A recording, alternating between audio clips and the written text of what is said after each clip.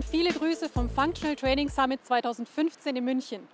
Mein Name ist Tanja Bossmann und ich bin Redakteurin bei der PT Zeitschrift für Physiotherapeuten. Auch dieses Jahr sind hier in München natürlich wieder viele bekannte Trainingsprofis aus aller Welt. Unter ihnen die Physiotherapeuten Oliver Schmidtlein und Matthias Keller. Oliver Schmidtlein ist Inhaber der Praxis OS Physio und Experte für Functional Training. Matthias Keller ist Spezialist für aktive Trainingstherapie und arbeitet bei OS Physio. Die beiden leiten zusammen das OS Institut. Oliver und Matthias werden gleich in ihrem Vortrag einen Algorithmus zur Trainingssteuerung nach Verletzungen vorstellen. Und danach gibt es noch einen Praxisworkshop. Und da schauen wir jetzt mal rein. Matthias Keller, Eduard Kurz haben recherchiert.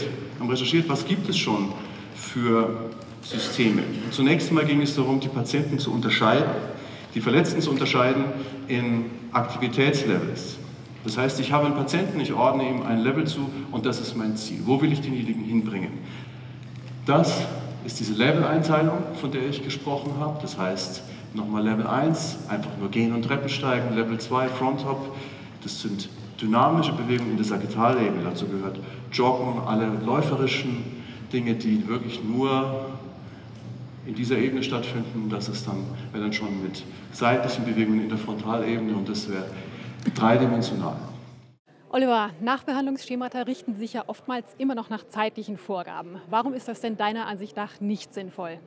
Die Protokolle der Ärzte sind nächst eine grobe Richtungsgebung für die Therapeuten. Das ist nicht sinnvoll, weil die Zeitangaben oft nicht zutreffen, denn die Patienten gehen ja oft mit sehr unterschiedlichen Voraussetzungen in die Verletzung und deswegen ähm, müssen logischerweise auch die Rehabilitationszeiten nach anderen Kriterien ablaufen.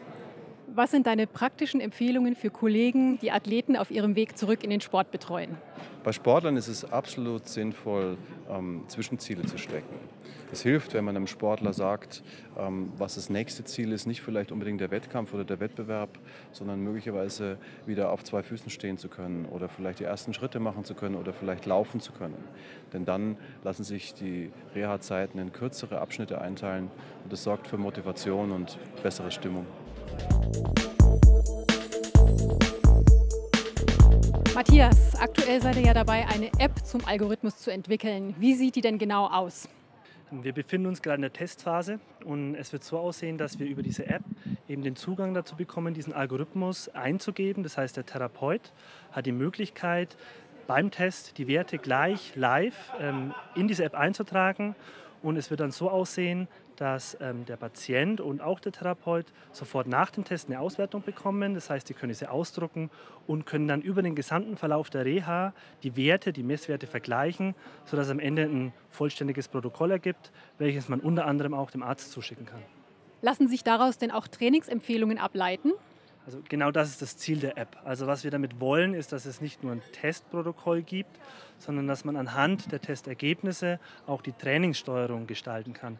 Heißt, dass man kann hergehen und kann anhand der Testübungen auswählen, die richtige Dosierung auswählen und optimalerweise hilft das Programm dabei, diese Entscheidung auch zu treffen. Und kann man die App denn jetzt schon benutzen? Also die App befindet sich gerade in der Testphase. Ähm, man kann sich auf unserer Website www.return-toactivity.de kann man sich anmelden und wir werden in den nächsten Wochen mit so einem Probelauf beginnen und dann auch Leute einladen, dass die uns dabei unterstützen oder helfen, einfach diese Test-App auch auszuprobieren.